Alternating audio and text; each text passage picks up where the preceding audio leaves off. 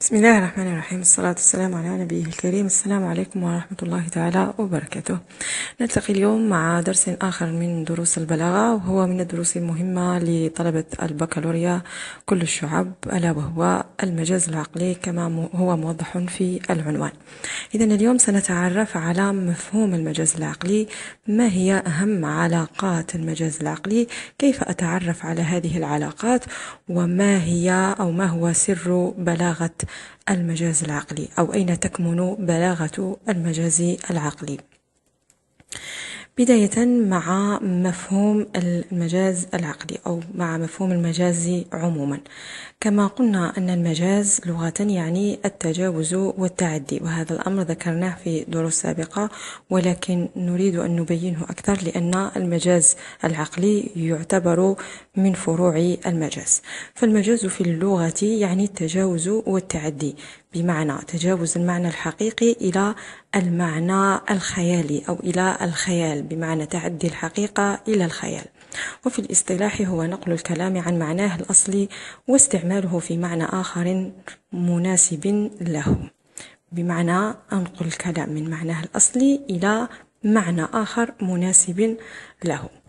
إن المجاز على قسمين وقد رأينا هذا أيضا في الدروس السابقة قلنا أن المجاز على قسمين. القسم الأول هو المجاز اللغوي وهو استعمال اللفظ في غير ما وضع له بمعنى أن المجاز يقع في اللفظ بمعنى الكلمة يقع في الكلمة. والنوع الثاني من المجاز هو المجاز العقلي وهو يجري في الإسناد.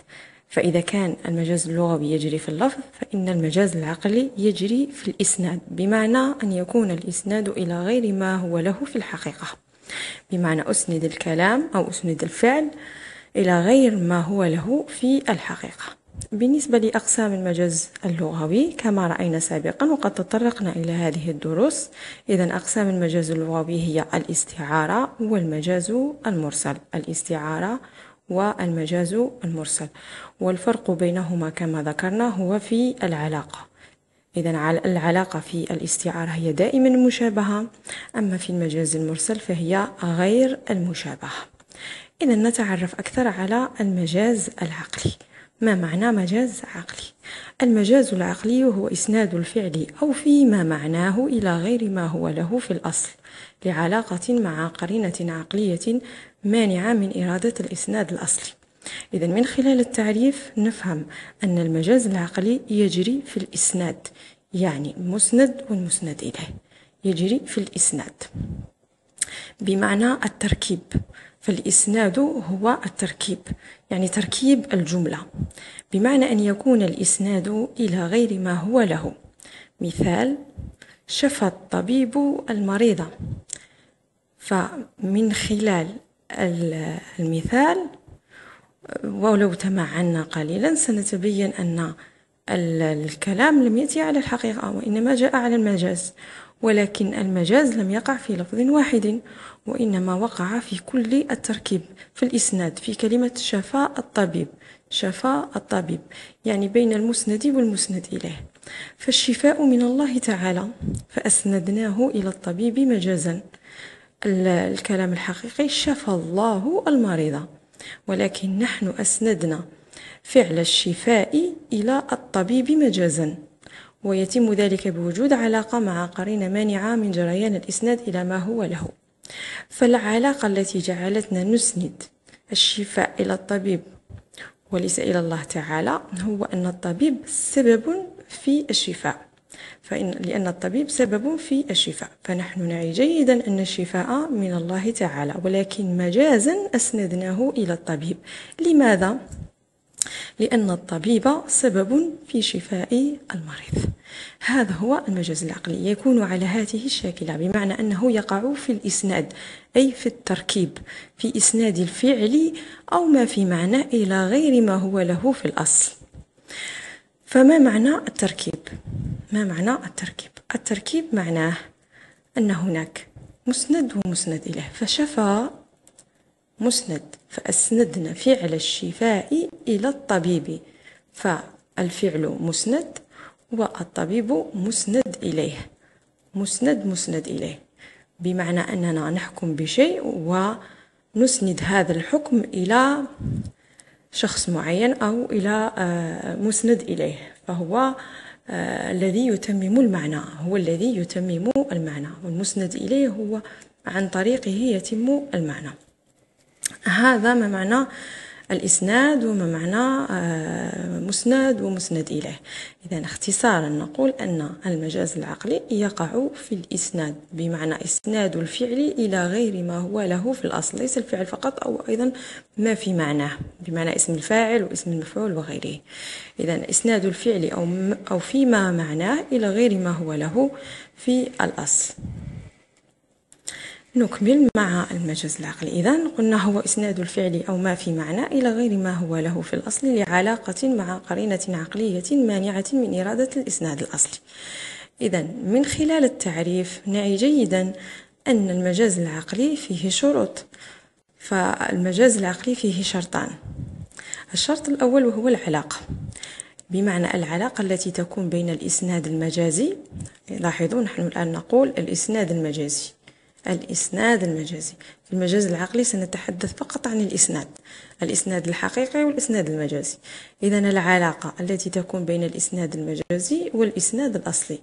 وهذه العلاقة ليست علاقة واحدة وإنما هي علاقات متعددة تفهم من السياق أو تفهم من خلال إجراء العلاقة بين الإسناد المجازي والإسناد الأصلي. نكتشفها من خلال المجازين. أو من خلال عفوا الإسناد المجازي والإسناد الأصلي. ثم الشرط الثاني من شروط المجاز العقلي وهو القرينة. القرينة بمعنى, بمعنى الدليل. القرينة التي تدل على عدم إرادة المعنى الأصلي دائما عقلية لأن المجاز العقلي يدرك بالعقل. لذلك سمي مجازا عقليا.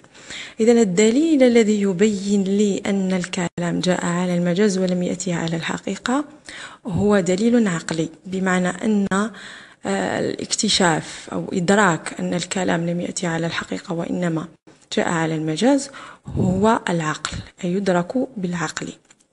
لذلك سمي مجازا عقليا. نبدأ الآن في اكتشاف علاقات المجاز العقلي. المثال الأول بنى الحاكم المدينة. بنى الحاكم المدينة. إذن من خلال القرينة العقلية من خلال العقل نعي جيدا أن الكلام في هذا المثال لم يأتي على الحقيقة وإنما جاء على المجاز. وأن الإسناد هنا إسناد غير حقيقي أو إسناد غير أصلي وإنما هو إسناد مجازي. إذا الإسناد المجازي في قولنا بنى الحاكم المدينة. الإسناد الحقيقي إذا لدينا بنى العمال المدينة بأمر من الحاكم. بنى العمال المدينة بأمر من الحاكم. إذا بنى هو المسند والحاكم المسند إليه. فأسندنا فعل البناء إلى الحاكم في حين أن عملية البناء قام بها العمال وليس الحاكم ولكن لأنه هو الذي أمر بالبناء أسندنا إليه فعل البناء مجازا. أسندنا إليه فعل البناء مجازا. الآن لو نريد أن نبين العلاقة بين الإسناد الحقيقي عفوا بين الإسناد المجازي والإسناد الحقيقي. العلاقة هي أن الحاكم سبب في بناء المدينة. الحاكم سبب في بناء المدينة. إذا العلاقة بين الإسناد المجازي والإسناد الحقيقي هي السببية. هي السببية. لأن الأمير عفوا أو الحاكم سبب في بناء المدينة. لا إنه بناها بنفسها. هو السبب في بنائها وليس أنه بناه بناها بنفسه. الآن أين يكمن الغرض البلاغي من خلال استخدام هذا المجاز لو لاحظنا التعبير بنى الحاكم المدينة فنحن نريد أن نوضح المعنى. ولكن ما المعنى الذي نريد أن نوضحه نوضحه في هذا المثال؟ نريد أن نوضح أن الحاكم هو الآمر وبسببه تم البناء. نريد أن نبين أن للحاكم فضل في بناء المدينة. زائد إذا عبرنا بقولنا بنى الحاكم المدينة وبين أن نقول بنى العمال المدينة بأمر من الحاكم فنلاحظ أن الإسناد المجازي فيه خفة وإيجاز. فيه خفة وإيجاز. زائد فيه بلاغة وفيه مبالغة. نحن بالغنا. في الحكم أنه هو الذي بنى في حين أنه لم يبني المدينة بنفسه. إذا هنا يكمن سر بلاغة هذا النوع من المجاز. أولا في توضيح المعنى وضحنا أن الحاكم هو الآمر وبسببه تم البناء. ثانيا هناك خفة وإيجاز في التعبير وأيضا تعبير بطريقة بلاغية جميلة فيها جمالية. زائد المبالغة المبالغة هنا لتوضيح المعنى. المبالغة في الكلام لتوضيح المعنى. إذا أول علاقة من علاقات المجاز العقلي هي السببية وهي إسناد الفعل إلى سببه وليس إلى فاعله الحقيقي. إلى العلاقة الثانية من علاقات المجاز المرسل نهار الزاهد صائم وليله قائم. نهار الزاهد صائم وليله قائم. إذا القرينة كما قلنا هي دائما عقلية يعني أننا نكتشف المجاز عن طريق العقل أو ندركه بالعقل. الإسناد المجازي في هذا المثال هو في قولنا نهاره صائم وليله قائم.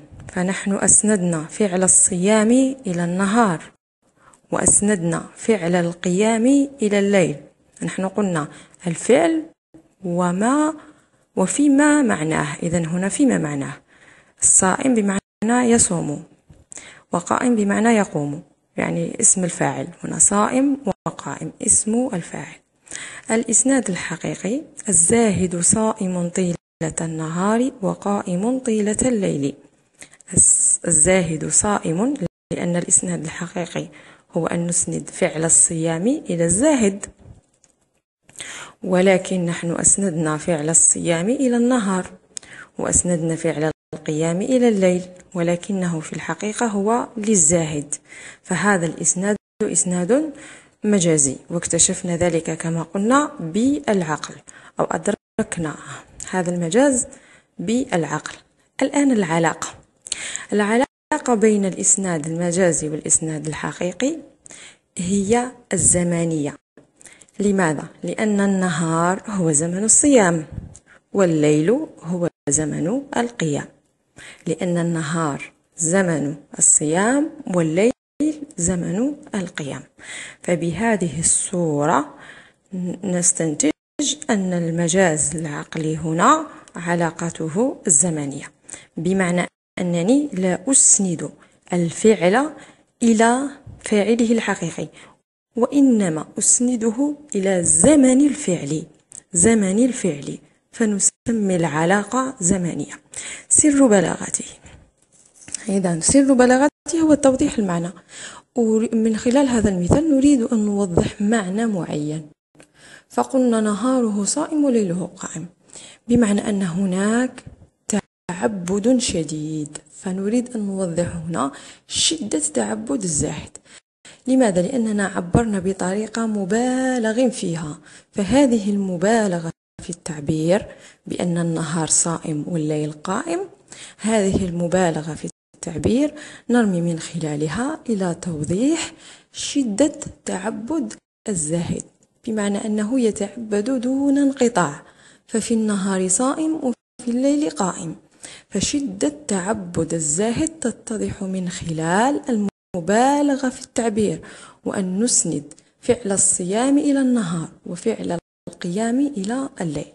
إضافة إلى ما يتمتع به هذا التعبير من خفة وإيجاز وكذلك بلاغة بمعنى أن نعبر بأسلوب جميل فيه بلاغة أكثر مما نعبر بطريقة حقيقية أو بإسناد حقيقي.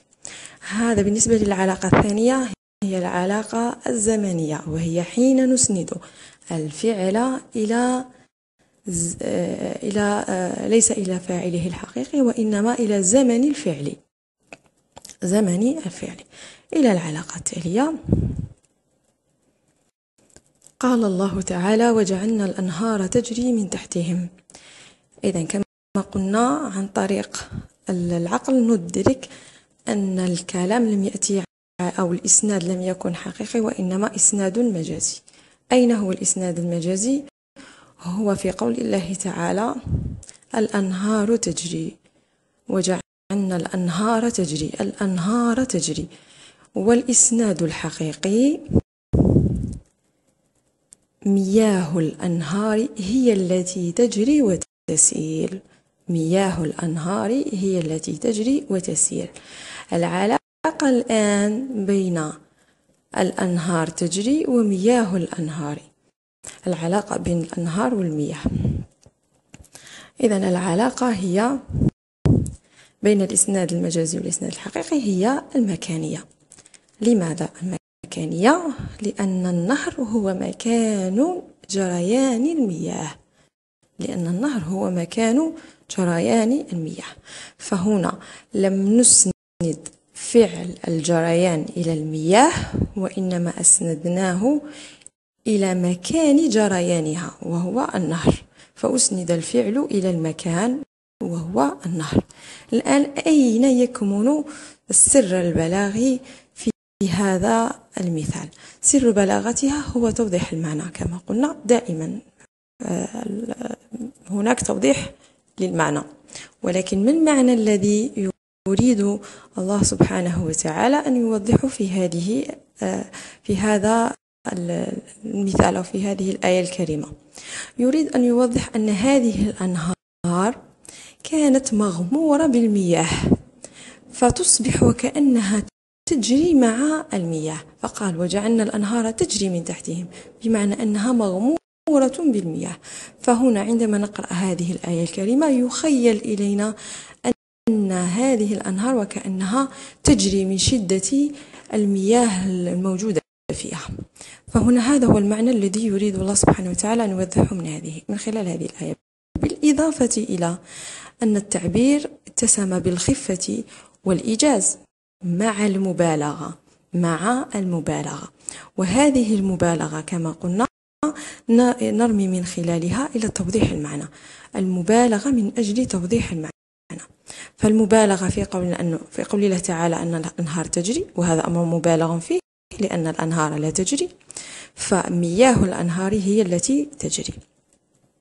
هذا بالنسبة لهذه العلاقة وهي العلاقة المكانية. إلى العلاقة التالية جد جده عظمت عظمته جن جنونه. يعني هنا لدينا ثلاثة أمثلة جد جده عظمت عظمته وجن جنونه. دائما القرينة عقلية الإسناد المجازي في قولنا جد جده. جد جده فأسندنا فعل الجد إلى الجد بمعنى المصدر. فالشخص الذي يجد وليس المصدر. فجد الشخص المتصف بالجد يعني الذي يجد ويجتهد هو الشخص. ولكن نحن قلنا جد جده والجد هو مصدر الفعل جد بمعنى اجتهد. جد بمعنى اجتهد والجد عفوا الجد هو مصدر الجد هو مصدر الفعل جد فنحن هنا أسندنا الفعل إلى مصدره ولم نسند الفعل إلى فاعله الحقيقي وهو الشخص المجد. ونفس الشيء إذا قلنا جن جنونه فأسندنا فعل الجنون إلى مصدره الجنون ولم نسنده إلى الشخص أو الإنسان. الآن العلاقة بين الإسناد المجازي والإسناد الحقيقي هي المصدرية. لماذا سميناها المصدرية؟ لأننا أسندنا الفعل إلى مصدره بدلا من أن نسنده إلى فاعله الحقيقي. بدلا من إسناد الفعل إلى فاعله الحقيقي أسندناه إلى المصدر. الجد لا يجد ولكن الشخص هو الذي جد. وتم إسناد الفعل للمصدر من باب التجاوز. فنحن أسندنا الفعل إلى المصدر. نفس الشيء عندما نقول عظمت عظمته. فأسندنا فعل عظمت إلى العظمة. وكذلك عندما نقول الله جل جلاله فأسندنا فعل جل إلى الجلال. وهكذا. الآن أين يكمن السر البلاغي من وراء هذا الإسناد وهو إسناد الفعل إلى مصدره. توضيح المعنى. توضيح المعنى. فلما أقول جن جنونه جد جده عظمت عظمته فأنا هنا أبالغ. أبالغ لأبين الشدة. شدة الشيء. شدة الشيء. فلما أقول جد جده بمعنى أنه مجد بشدة مجد بشدة. وعندما أقول جن جنونه بمعنى أن هذا الجنون شديد جنون شديد. لذلك توضيح المعنى ما هو المعنى الذي نريد أن نوضحه؟ هو شدة جد المجد. والتعبير كذلك يمتاز بالخفة والإيجاز وأيضا فيه مبالغة. وهذه المبالغة كما قلنا نرمي من خلالها إلى توضيح آه، المعنى. خاصة هنا أننا نريد أن نوضح شدة الشيء شدة الفعل شدة الفعل. فلما أقول جن جنونه شدة الجنون. عظمت عظمته شدة العظمة. وجد جده كذلك شدة الجد جد جده. إلى العلاقة التالية قال تعالى فهو في عيشة راضية فهو في عيشة راضية. الإسناد المجازي في قوله الله تعالى عيشة راضية. والإسناد الحقيقي وإنما نقول عيشة مرضي عنها أو بها لأن العيشة نرضى بها وليس هي التي ترضى. من يعيشها هو الذي يرضى بها فهي مرضي عنها أو بها وليست هي التي رضيت. إذا أسندنا هنا الإسناد غير حقيقي. فبدلا من أن نقول أن العيشة مرضي عنها أو الله سبحانه وتعالى بدل من أن نعبر عن أن العيشة مرضي عنها فقلنا راضية. العلاقة بين الإسناد المجازي والإسناد الحقيقي هي المفعولية. ما معنى ذلك؟ يعني بدلا من أن نستعمل آه، اسم المفعول استعملنا اسم الفاعل. فالعيشة راضية. العيشة لا ترضى. العيشة لا ترضى. فهي مرضي عنها. مرضي عنها بمعنى اسم مفعول. اسم مفعول. راض مرضي. راض مرضي. فاعل مفعول. فهي عيشة راضية. نحن أو الآية الكريمة الله سبحانه وتعالى استعمل اسم الفاعل بدلا من اسم المفعول. إذا أطلق اسم الفاعل وأسند إليه صفة الرضا والمقصود به المفعولية أي مرضية.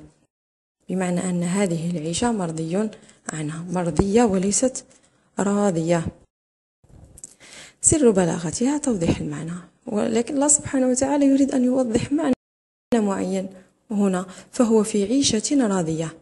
بمعنى أن هذه الحياة التي يعيشها فيها نعومة شديدة شدة النعومة في العيش في العيشة. فلما كانت ناعمة جدا لدرجة لو نطقت لرضيت. بمعنى أن هذه العيشة التي يعيشها ناعمة جدا شديدة النعومة. فلو أنها نطقت لرضيت بهذا الأمر. إذا التعبير أيضا يمتاز بالخفة والإيجاز وكذلك فيه مبالغة المبالغة لتوضيح المعنى لأن العيشة لا ترضى وإنما مرضي عنها. هذا بالنسبة لهذه العلاقة. قلنا مفعولية. المفعولية عندما نسند آه، الفعل إلى اسم الفاعل والمقصود هو اسم المفعول. نسنده إلى اسم الفاعل ولكن المقصود هو اسم المفعول. إلى علاقة أخرى وهذه العلاقة هي عكس العلاقة السابقة عكس العلاقة المفعولية. قال تعالى وإذا قرأت القرآن جعلنا بينك وبين الذين لا يؤمنون بالآخرة حجابا مستورا. إذا الإسناد المجازي هو في قوله تعالى حجابا مستورا. والإسناد الحقيقي حجابا ساترا. جعلنا بينك وبين الذين لا يؤمنون حجابا ساتر بمعنى يستر وليس هو المستور هو الذي يستر وليس هو المستور هنا الحجاب هو المستور بهذا المعنى حجابا مستورا المعنى الحقيقي ساترا. فلاحظوا مستور على وزن مفعول وساتر على وزن فاعل. فهنا العلاقة هي بين الإسناد الحقيقي والإسناد المجازي هي الفاعلية ما معنى الفاعلية؟ يعني أن الحجاب لا يكون مستورا وإنما يكون ساترا فالوصف نسب إلى المفعول والمقصود به الفاعلية بمعنى أن آه، نسبنا أو أسندنا الفعل آه، أسندنا الفعل إلى اسم المفعول في حين أن المقصود هو اسم الفاعل. الإسناد كان لاسم المفعول في حين أنه المقصود هو اسم الفاعل. أسندنا الستر باسم الفاعل أو استخدام اسم المفعول بدلا من اسم الفاعل. الفاعلية تكون باستخدام اسم المفعول بدلا من اسم الفاعل. فكأن الحجاب من غلظه وعظمه وعظمه يصبح مستورا فمن باب أولى أن يكون ساترا لمن خلفه. لما نقول حجاب فهو يستر فهو يستر من خلفه ولكن هنا بهذا التعبير وكأننا نقول أن هذا الحجاب هو ذاته مستور هو ذاته مستور. آه، سر بلاغتها أين يكمن السر البلاغي هنا؟ نحن هنا أيضا في مبالغة. هذه المبالغة أن الحجاب في حد ذاته هو مستور في حين أنه هو ساتر هو يستر ولكن في هذه الآية الكريمة قال الله تعالى أنه مستور. فهنا نريد أن نوضح معنى شدة الستر. شدة الستر بمعنى أنه يستر بطريقة شديدة جدا فيها شدة لدرجة أنه حتى هذا الحجاب هو في حد ذاته مستور. إذا وكذلك التعبير يمتاز بالخفة والإيجاز. فيه خفة وإيجاز إضافة إلى المبالغة. إذا علاقات هذه هي علاقات المجاز المرسل. إذا نوجزها في هذا المخطط. إذا علاقات المجاز المرسل أولا قلنا السببية. متى تكون متى نسمي العلاقة أو بالعلاقة السببية عندما يكون الإسناد لسبب الفعل يعني لا أسند الفعل إلى فاعله الحقيقي وإنما أسنده لسبب الفعل. الزمانية حين يكون إسناد الفعل لزمنه لزمانه بمعنى أني لا أسند إلى الفاعل الحقيقي وإنما لزمن الفعل. المكانية حين يكون الإسناد لمكان الفعل لمكان الفعل المصدرية. أسند الفعل إلى مصدره. المفعولية. الإسناد يكون لاسم الفاعل بدلا من اسم المفعول يعني بدل من أن أستخدم اسم الفاعل نستخدم اسم المفعول. والفاعلية. الإسناد يكون لاسم المفعول بدلا من اسم الفاعل. هذا بالنسبة لعلاقة المجاز المرسل باختصار. أما سر جمال المجاز العقلي فيكمن في ثلاثة عناصر وقد ذكرناها عندما شرحنا علاقات المجاز العقلي. أولا الخفة والإيجاز ثانيا التوضيح ثالثا المبالغة. الخفة والإيجاز حين نعبر عن المعنى بإيجاز. التوضيح حين نبين المعنى المراد إيصاله من خلال المجاز. وأيضا التعبير بطريقة المبالغة حين نعبر بطريقة مبالغ فيها لتوضيح المعنى. وكل هذه الأمور وجدناها ولاحظناها في الأمثلة السابقة. المثال جد جده. بمعنى أن هنا التعبير فيه خفة وإيجاز فيه توضيح للمعنى وهو شدة المثابرة والجد وأخيرا المبالغة لأنه فيه مبالغة حين أسندنا الفعل إلى مصدره وليس إلى فاعله الحقيقي وهذه المبالغة قلنا نرمي من خلالها إلى توضيح شدة الجد والمثابرة. هذا بالنسبة للمجاز العقلي ولعلاقات المجاز العقلي. آه، إذا بيننا كيف آه، أو ما الذي يميز المجاز العقلي عن غيره من من أنواع المجاز وكذلك ما هي أهم علاقاته إضافة إلى سر بلاغة المجاز العقلي. أتمنى للجميع الاستفادة من هذا الدرس. أستودعكم الله الذي لا تضيع ودائعه. والسلام عليكم ورحمة الله تعالى وبركاته.